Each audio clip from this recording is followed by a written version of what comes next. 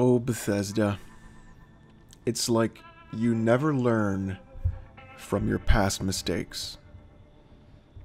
You took a once venerable and dearly beloved franchise and you've turned it into the most egregious, buggy, and absolutely terrible game you could possibly imagine in the most absolute laziest way possible. A game and a series that is historic with PC gaming and with gaming in general. I'm not even upset at people who joined Fallout in Fallout 3 because I actually liked Fallout 3. It wasn't half bad. I felt New Vegas was leagues better, but Fallout 3 wasn't a bad game. Now, there are people who say that they prefer the old style RPG like what you're seeing right now in the background, and that's more of my cup of tea as well.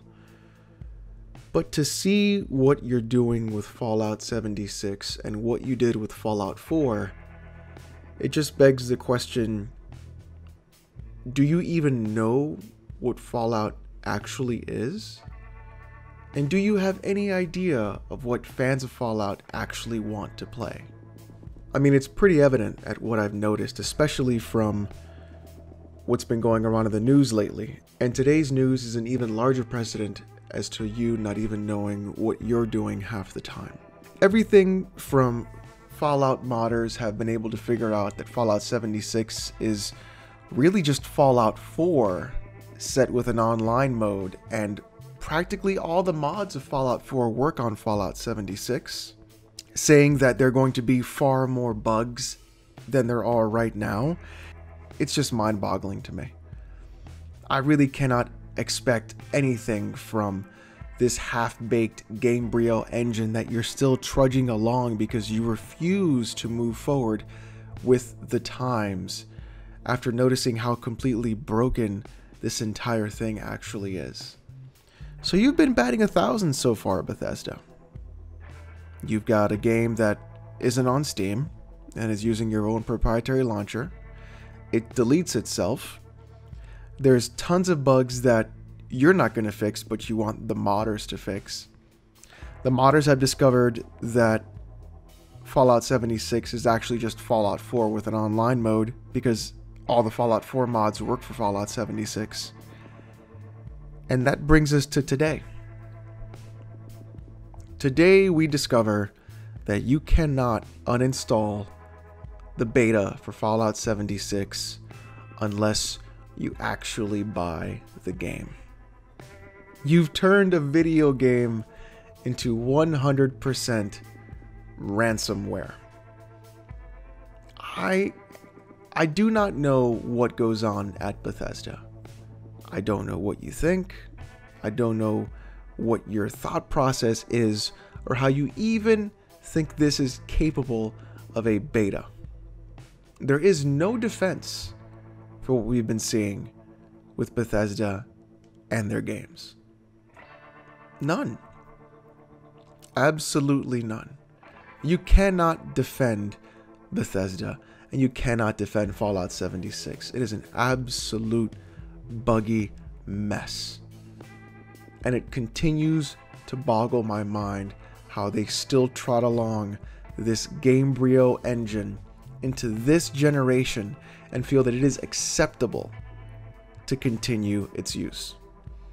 After it's been broken, reupholstered together with duct tape and crazy glue, broken again, and then having modders fix the problems that Bethesda seem to be unable or just downright too lazy to do themselves.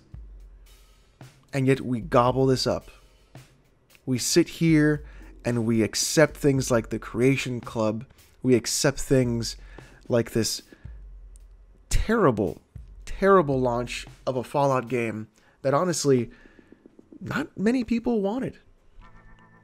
The idea and concept is novel, absolutely, I will give you that, but I really don't think anyone actually wanted this game.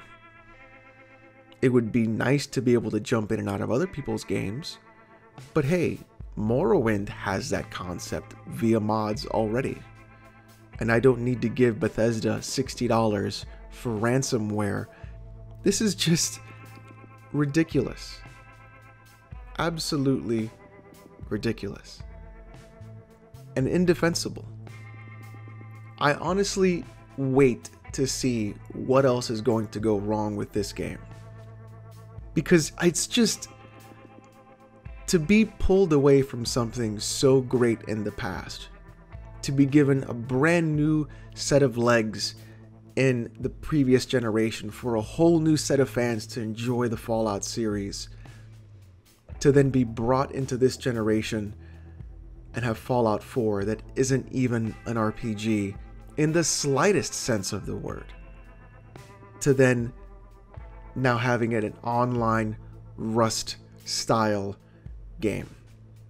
That doesn't even work. That is just a reskin of the previous game that you made with an online mode.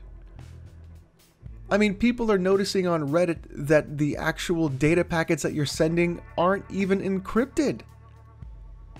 So, what else could you possibly mess up, Bethesda? Todd Howard, what else could you do to actually let people finally understand that you do not know what you are doing? People gobbling up anything Todd Howard says as if he is the god of gaming. People defending Fallout 76 in any way, thinking that it is a good game. oh my god. The fact that Fallout 76 and the beta are now ransomware. It is on the level of adware blocking your PC from removing those files if you don't give them money. They're holding your hard drive ransom. This is abs this is just shocking to me. I, I honestly wait to see what else happens next. Modders can't fix this. You might as well hire the modders and make them part of your development staff because they're doing your work that you refuse to do, Bethesda and Todd Howard. I am just appalled that you would still try to launch this game in its broken of a mess state and then try this cute little acronym for what beta actually means. and then people just accept it. They accept, like, well, you know, these games are clockwork style games and anything can happen and you never know what goes wrong and how are you going to test for all of this? Listen, it's been, what, 11 years? 12 years with this engine? You're telling me that in 12 years you can't fix this? You're telling me that in 12 years or more, I'm going to be corrected in the comment section, modders have fixed all of these issues, but a massive development studio with millions of dollars and a crack team of developers and QA testers can't figure this out? This is the defense people bring me. I worry for the next Elder Scrolls game. Because after Skyrim, I don't know what it's going to become. It's less and less and less of what makes these games great and more and more of what makes them generic and bland and boring. And it's something that I just can't get behind. And I'm starting to delve into older games because they're more complex, they're more fun, they're more atmospheric, they're more strategic. They may not look the best, sure, but in the end, I just want a game that runs properly. Who cares what it looks like now? If your game can't even run, I don't care what it looks like. This is just sad sad on so many levels. As a longtime Fallout fan, I really don't know what else to think or what else to say. But what I can say is this Fallout 76 is a absolute disaster and it's just the beta. They are not going to fix this game. Having it being in a beta and having these issues does not excuse it. And we know what's going to happen in the end. It's going to be an absolute buggy mess of a giant train wreck. And with the beautiful games that we've had this year, like God of War and even Red Dead 2, this is unacceptable, especially for $60.